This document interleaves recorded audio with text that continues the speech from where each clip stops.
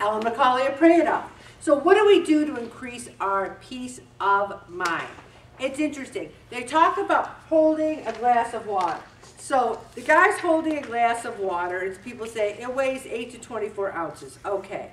See, but the weight doesn't matter. If you hold it for a minute, it's not a problem. If you hold it for an hour, your arm starts to ache. If you hold it for a day, you might have to call an ambulance. It's the same weight. The weight has not changed. But the longer you hold it, the heavier it becomes. I was stunned by that statement mm-hmm. because I'm one of those people that have hung on to a lot of stuff. And it gets heavier and it weighs more and it ties and it weighs us down. So if we want to have less stress and more peace, the first thing we need to do is just say, okay, I'm not going to carry that anymore. You know, I had to help plan this luncheon, but then I also um, had a committee, and there was tasks. I mean, one task was to put all the certificates. There's 14 winners, and we had to put all the certificates in these blue little cases. So I said to this one "Oh, do you mind putting them in the blue cases?" She was like, "Oh that's no problem." So she comes back. She goes, "That was really hard. Now I know why you gave it to me." And I go, "I'm not stupid. You ever try to get those little corners in those things? I knew it would be hard." So you need to delegate, and you need to do your most daunting task first. So sometimes I do something, I go, why was I worried about that? It's done, it's over. Do you ever put something off, put something off, then you do it, and you go, that wasn't so bad. Just do it. Do the most daunting task.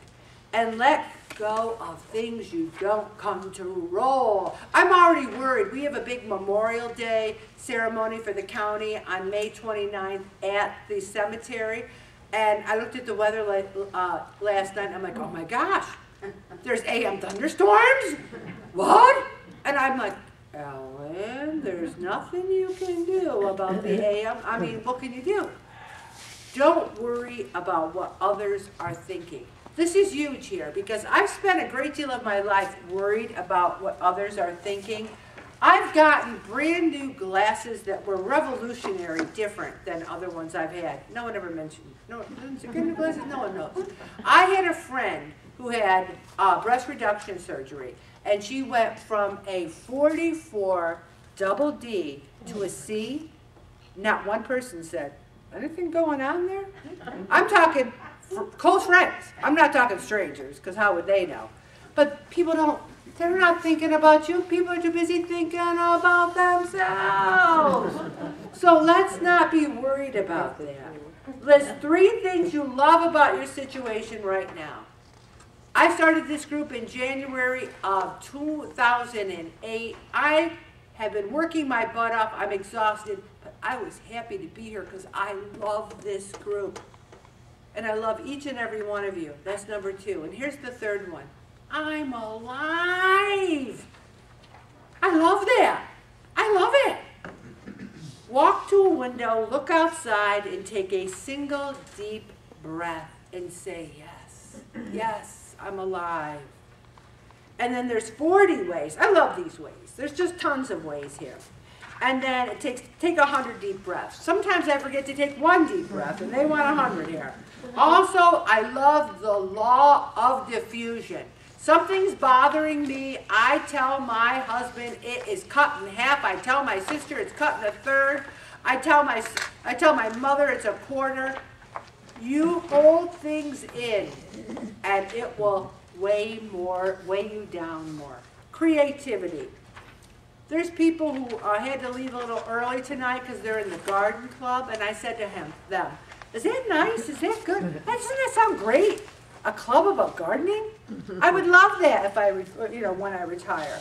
Also, some of you writing the letter to food was the most creative you've been in eons, right? You're like, "Oh, I got to create something. I'm going to write a letter to food. It's fun." Activity. We got to move, you guys. Move, move, move. And acceptance. Everyone has my permission to say it is what it is one time a day. Because otherwise you might want to say it like a hundred times a day. Also connecting with other people. We connect every Thursday night And that's why I got mad during the pandemic, because my connection was gone to my family, to work. I was working there, to pray it off, to church. Also volunteer. I work full-time. I almost consider this a teeny bit of volunteering because I'm doing this. It's just so important to do other things. Also, about your meditation and mindfulness, create a space. That's not my problem, I have plenty of space, it's just telling myself to meditate. Slow down, oh, this is when you take your, this is eating your food. I, we had such a good dinner the other night, I had to say, Bob, we gotta slow down. Because did you ever do that, go, "Mm-mm." Also, taste it and save it, savor it, and sometimes pause between, you know, bites, because it is hard sometimes to slow down and enjoy your meal. Now, in a restaurant, you might, you know, take a little slower, so pretend you're eating in a restaurant. So, my last statement I want to say is, it's so easy to be, it doesn't mean you don't care. If you find inner peace, it doesn't mean that you don't care about the suffering and sadness in the world. It means you know how the story ends. And the story ends because of the resurrection of Jesus Christ. The story ends with all of us doing his work for eternity. And that's where the peace comes in. And that's what we sometimes lose sight of. And let's prayerfully listen to the song and ask for the inner peace that only God can give.